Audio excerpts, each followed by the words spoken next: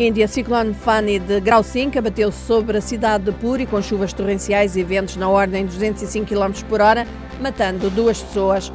Moçambique, responsáveis na zona norte declaram surto de cólera devido à falta de água potável, uma das consequências do ciclone Kenneth.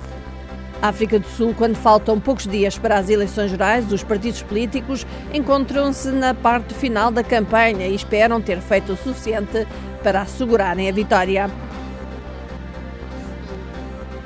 Venezuela, Nicolás Maduro mantém-se no poder depois do líder da oposição Juan Guaidó não ter conseguido deserções em massa dos militares. Itália e França celebram 500 anos da morte do pintor, cientista e inventor renascentista Leonardo da Vinci.